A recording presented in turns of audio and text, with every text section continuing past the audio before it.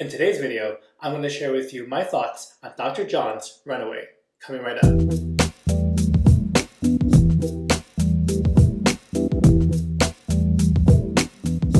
Hey guys, welcome back. My name is John, and today we're going to do a shave with Dr. Jon's Runaway. So I'll be lathering up for a shave and sharing my thoughts and opinions on this recent release. So just a little information behind this artisan. Dr. Jon's Shaving Soap Company is run by Jon and Kim Eplin.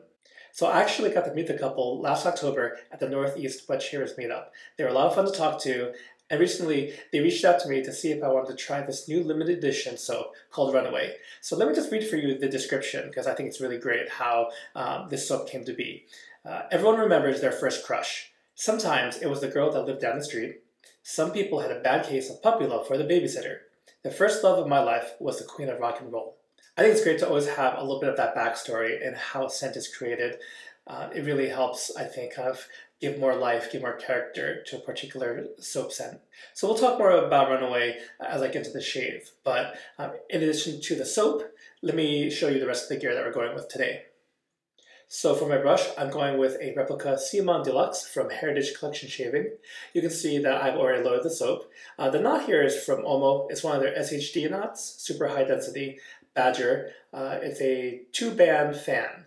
For my razor, I'm going to go with the Gillette Super Adjustable. And this one in particular was a gift from my good friend Ben, so thanks Ben for sending this over. Uh, it's loaded with a Gillette Silver Blue on its third shave. So I went with two days beard growth, and I went for a 30 second load with a brush. So let's get the face lather started. So as I'm building this lather, I will say that the soap is of uh, average thirst.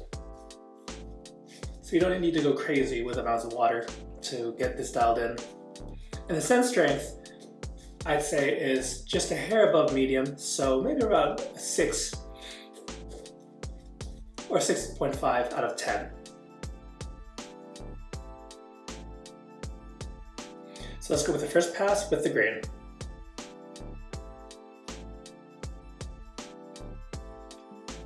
And also before I forget, the super adjustable is on the 5 setting.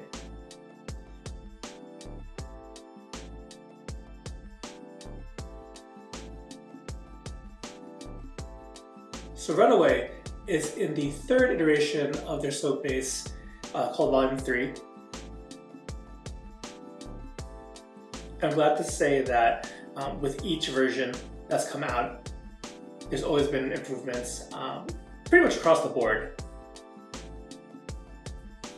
In this case, Slickness and post-shave, I feel like have improved from Volume 2. This is not to say you should go ahead and throw out any volume one or volume two of Dr. Jon's that you have just to get the latest base. But just know that if you do pick up a new soap, you should see those marked improvements. All right, so first, first pass is done, and I'm gonna lather up for the second pass and talk a little bit more about the scent notes. All right, so the official scent notes for Runaway include cherry, carnation, clover, leather, and musk. And to my nose, in the soap at least, I'll start off with, it's a very pleasant scent. The cherry, I feel like really stands out here. Not to say it's the strongest, but my nose kind of picks up on it in that it's not a scent that by itself you come across a lot. Maybe in like a cherry pipe tobacco, but in this combination, I'm getting cherry, um, a very kind of clean, mm, clean, kind of herby, almost a green scent, and some slight florals. It's a very spring-like fragrance, I'd like to say. And as for leather and musk, the, the darker notes, I think those are pretty light as far as the overall composition goes.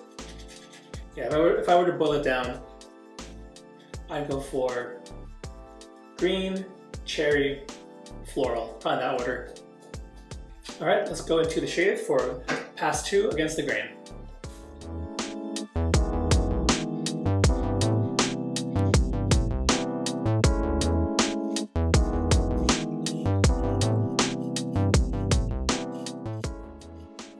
Right, so pass two is done, and I've really been enjoying just sticking to a two pass uh, with the grain and against the grain. Uh, I've kind of skipped on that touch-up pass on my neck as um, I, I, found that it's not too much a difference once I'm done with the shave. Uh, it wasn't really worth the extra, you know, possible irritation.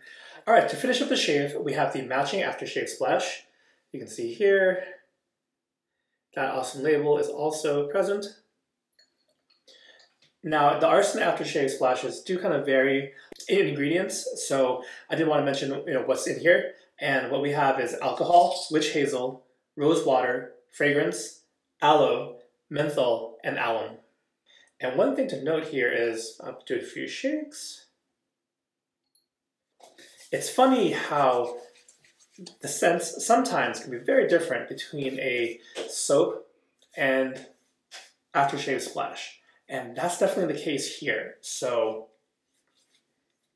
where I was describing the soap before, and I get, you know, green note, cherry, and floral. The floral in the aftershave actually becomes the um, front becomes front and center to me. And uh, the specific one, carnation, um, I'm not the biggest fan of it, and I think in for future uses, I think I really like the scent in the soap, but for the aftershave itself, uh, it, it, might go a little too uh, too heavy on that carnation. So just a heads up, as um, as you might be you know curious about picking this one up. I do find it interesting, just because um, you know the ingredients of a soap base it, it can and will mute certain scents in a composition other times, it's a pretty one-to-one where you go from the soap to the splash. You know, you get the same exact thing. I think with these, um, probably the more complex the scent, different ones will rise to the top. And noses are, are different too. So kind of what you detect as the strongest note may not be exactly what I am. So that being said, I'll be sure to include uh, the soap ingredients, the scent notes, and the aftershave ingredients all in the description below, so you guys can check that out. Since I mentioned it before, if you have any sets in your shave den where the scent and the soap and the aftershave uh, really differ from one another, I'd love to know, so please leave that in the comments below. If you enjoyed the video, please like, share, and subscribe, as that'll mean a lot to me, and it'd be a really big help for the Latherhog channel. I hope you guys found this video helpful, thank you again for your time, and I'll catch you next time. Take care.